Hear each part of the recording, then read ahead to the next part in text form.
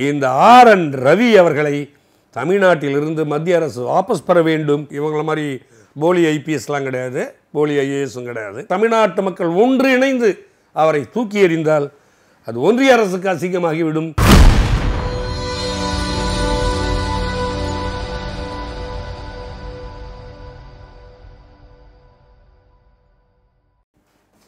Iron screen சேனலின் வாசகர்கள் மற்றும் நேயர்களுக்கு என்னுடைய காலை வணக்கங்கள்.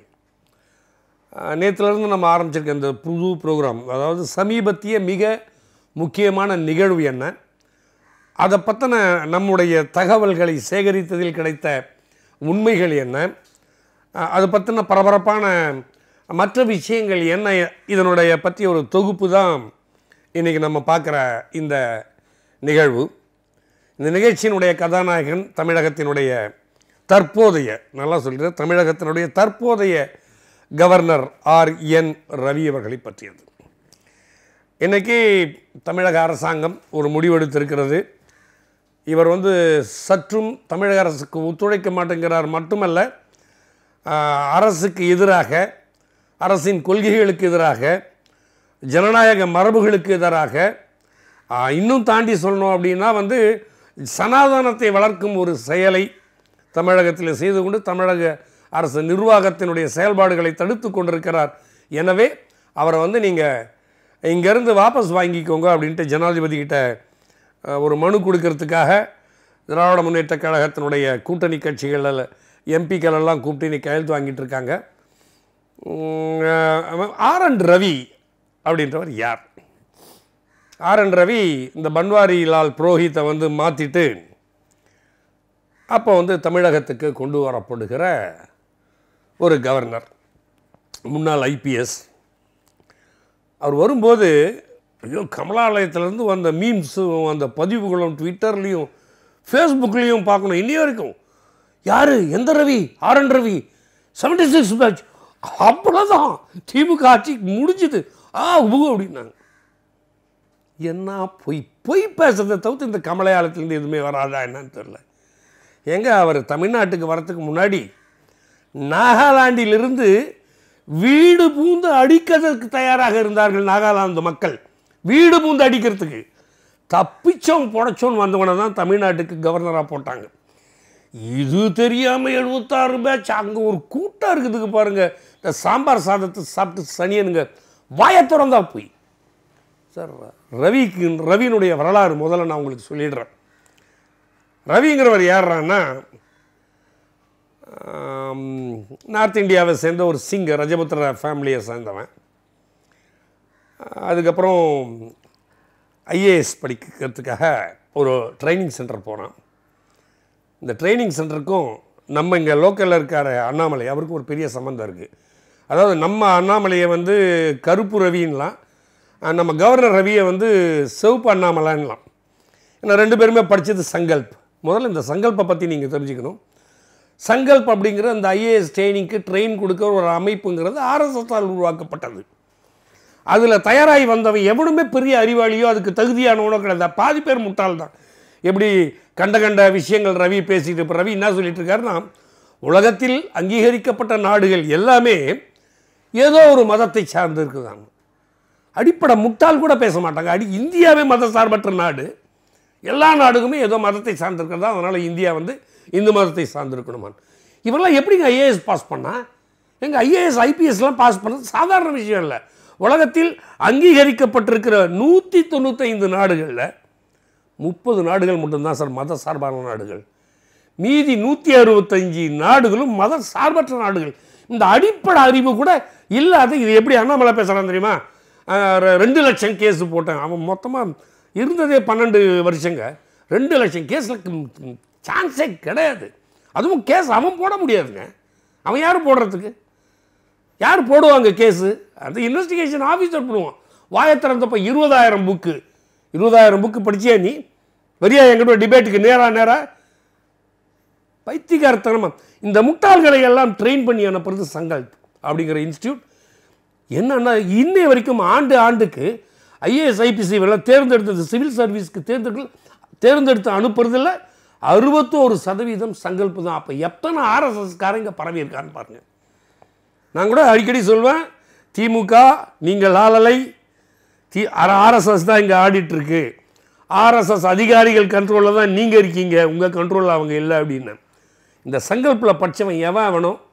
அவனுடைய வரலாறுலாம் எடுத்தீங்கன்னாவே யார் யார் ஆர்எஸ்எஸ்னுடைய பிரஜைகள்னு உங்களுக்கு தெரியும். இப்படி அந்த ஆர்எஸ்எஸ் டீம்லேருந்து உருவாக்கப்பட்ட அண்ணாமலை எப்படி அனுப்பப்பட்டானோ அண் அண்ணாமலை வந்து ரிசைன் பண்ணிட்டுலாம் வரல சார் அது ஒரு தனி கதை இருக்குது அது கிளிப்பிங்கை நீங்கள் உள்ளே போய் பார்க்கலாம். நான் உங்களுக்கு வந்து இதில் இது கொடுக்குறேன்.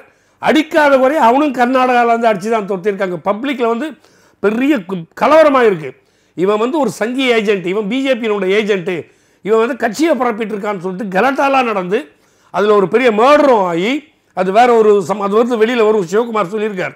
எலெக்ஷன் முடிட்டு வண்டவாளத்தெல்லாம் தூக்கி வைக்கிறேன் அப்படின்னு சொல்லிட்டு. கர்நாடகா காங்கிரஸ் தலைவர். அங்கேருந்து அங்கே அடிச்சிருவாங்க. அந்த ஸ்டேஜில் சென்ட்ரல் கவர்மெண்ட்டில் வேறு எதுனா இதுக்கு கேட்குறான் இருந்தால் அவங்க கொடுக்க முடியாதுன்றாங்க. அப்போ தான் நீ வா ரிசைன் பண்ணிட்டு தமிழ்நாட்டில் போய் கட்சி வேலையை பாருன்னு சொன்னாங்க. அதுக்கப்புறம் தான் இங்கே வந்தான். யாருமே தியாக மனப்பான்மையில் வரல. அதே மாதிரி இவர் நாகாலாண்டில் கொன்னே போட்டிருப்பாங்க இந்த ஆர் என் ரவியை. ஜனங்க ஏன்னா அங்கே வந்து தீவிரவாதம் உண்டு. நாகா தனி நாடு கேட்டு ஒரு ஒரு கட்சி வந்து கலவரம் பண்ணுது. அங்கே இன்னொரு கட்சி வந்து லோக்கலில் இருக்க அந்த கூட்டமைப்புகள் வந்து அரசாங்கம் அங்கே ஆள்றாங்க. இவங்களுக்குள்ள ஒரு தீவிரவாத இந்த ஒரு போர் இருக்குது அதில் நான் சமாதானம் பண்ணுறேன்னு சமாதான குழு தலைவராக போய் இருந்தால் அவங்கள நோண்டி விட்டு இங்கே நாட்டில் வந்து இருக்கிற சிஎம் ஒழுங்காக ஆட்சி செய்ய முடியாத ஒரு அவலத்தை ஏற்படுத்தினான். இது வந்து இது வந்து தீவிரவாதிகளுக்கு தெரிஞ்சு அந்த ஆளுகின்ற கட்சிக்கும் தெரிஞ்சு அவங்க அமைதியாக சேர்ந்து தான் இவனை அடித்து துரத்துனாங்க. இதுதான் வரலாறு இதுதான் உண்மை.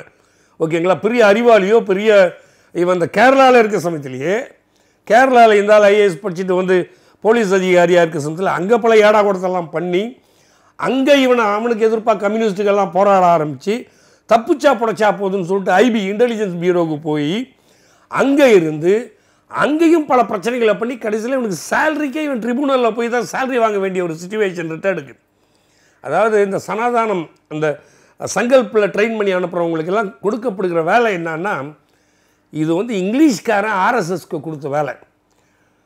இந்தியாவில் இன்றைக்கி சுதந்திரத்தை நாங்கள் கொடுத்துட்டு போகிறோம் ஆர்எஸ்எஸ் நீங்கள் எங்களுக்கு சப்போர்ட் பண்ணீங்க. ஒரு வேளை நாங்கள் போயிட்ட பிறகு இந்தியா ஒற்றுமையாக இருந்ததுன்னா உங்களை காலி பண்ணுவான். ஃபஸ்ட்டு ஆர்எஸ்எஸை காலி பண்ணுவான். அடுத்தது எங்களையே காலி பண்ணுவான். பிரிட்டிஷ் சாம்ராஜ்யத்தையே காலி பண்ணுவான்னா அவனுடைய இந்தியாவுடைய பலம் அவ்வளோ பெருசு. அதனால் இந்தியா அமைதியாக இருக்கக்கூடாது. எங்கேயாவது யாராவது ஒரு பிரச்சனை நடந்துக்கிட்டே இருக்கணும். அப்படின்னு தான் அப்போ தான் இவங்க ஆட்சியாளர்கள்லாம் வந்து அட்மினிஸ்ட்ரேட்டிவ் லெவலுக்குள்ளே நம்ம போய் கையை பிடிச்சா இன்னும் உடனே கலவரம் பண்ணலாம். அப்படி நாகாலாந்துலேயும் கலவரம் பண்ண இந்த ரவி அங்கேருந்து அடித்து துரத்துக்கப்பட்டான். அதுதான் வந்து உண்மை. சரி இன்றைக்கு வந்து இவன் இது போல் சனாதானம்லாம் பேசி இதெல்லாம் பண்ணிகிட்டு இருக்கானே அதுக்கப்புறம் என்ன பண்ணுவார்னா மாதத்துக்கு ஒரு டைம் வந்து இவர் வந்து டெல்லிக்கு போவார் சார்.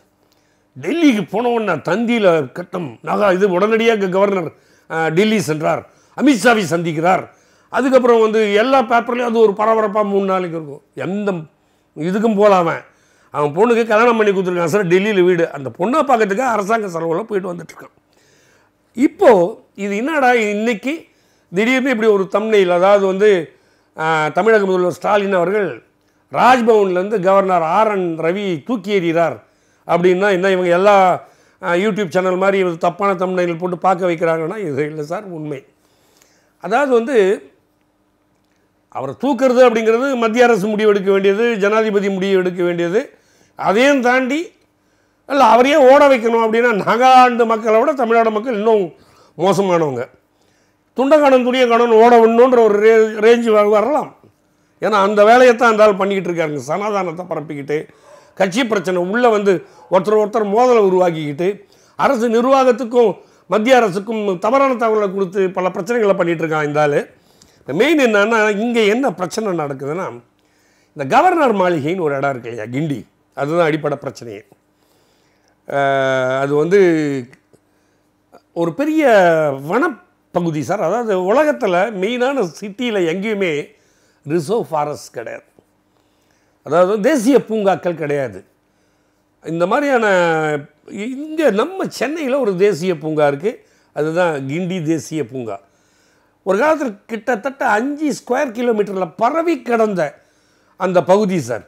அதுக்கப்புறம் இந்த ஆர்எஸ்எஸ் சார்ந்த ஐஐடி ஆர்எஸ்எஸ் சார்ந்த சிஎல்ஆர்ஐ இதுக்கெல்லாம் கொஞ்சம் கொஞ்சம் பிரித்து கொடுத்துட்டு அந்த அங்கே வந்து கவர்னர் மாளிகைன்னு உட்காந்துட்டாங்க அது வந்து கவர்னர்ஸ் லாட்ஜ் அப்படின்னு சொல்லிட்டு. லாட்ஜ் தான். ஏன்னா அந்த லாட்ஜாக தான் வந்து இதுக்கு முன்னாடி இருந்த கவர்னர் பன்வாரிலால் புரோஹித் வந்து நம்ம நிர்மலா தேவிம்மா யூனிவர்சிட்டி அண்ணாமலை அதெல்லாம் உங்களுக்கு தெரியும். விழா வாரியாக தனியாக பேசலாம்.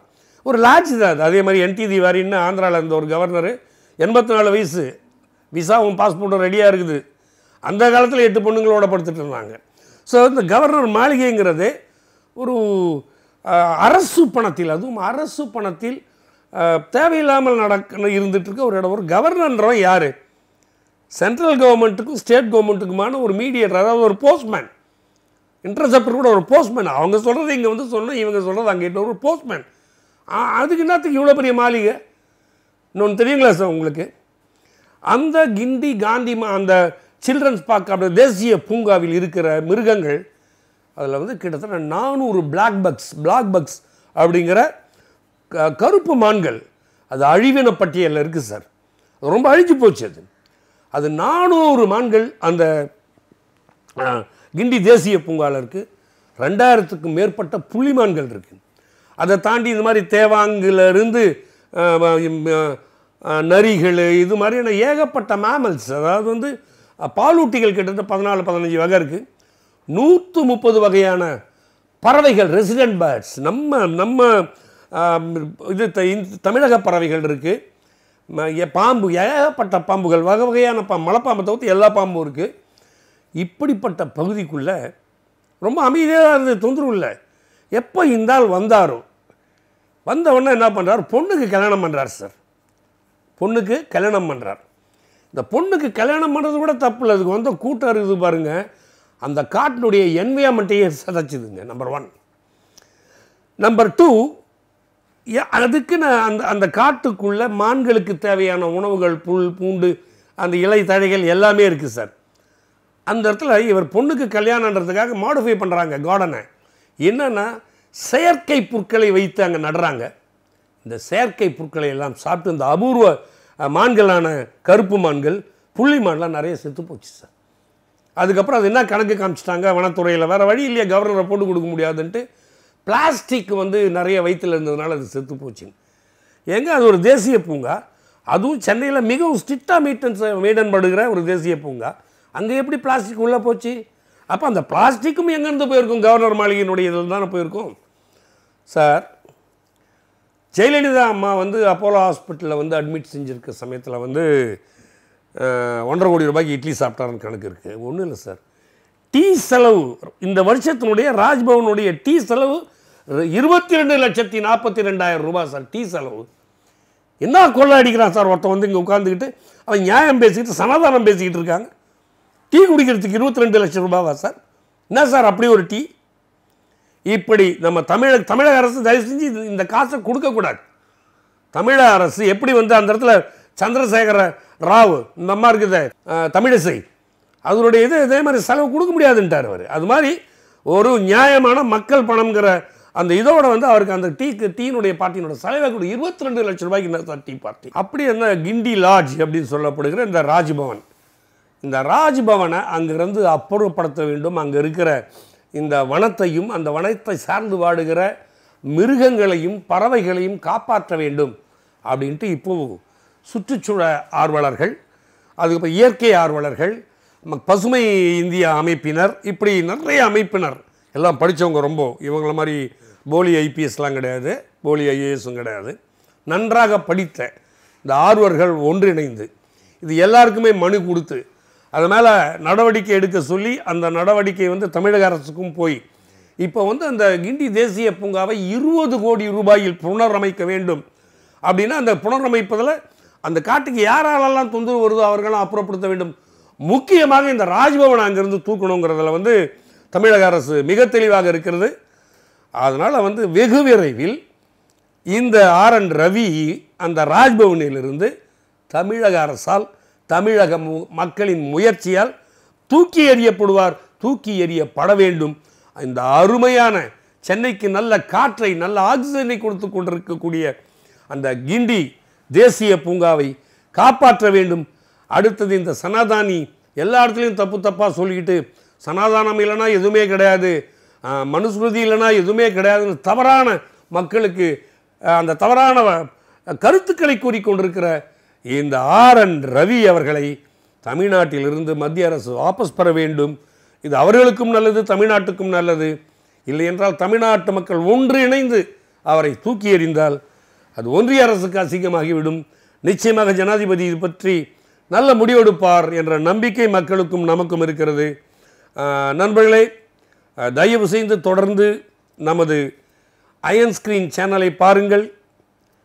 இந்த செய்திகள் நன்றாக இருந்தால் லைக் கொடுங்கள். உடனடியாக சப்ஸ்கிரைப் செய்யுங்கள். விட்டு விடாமல் அந்த பெல் பட்டனை அழுத்துங்கள். இந்த செய்திகள் நாம் சுட சுட கொடுக்கிறோம்.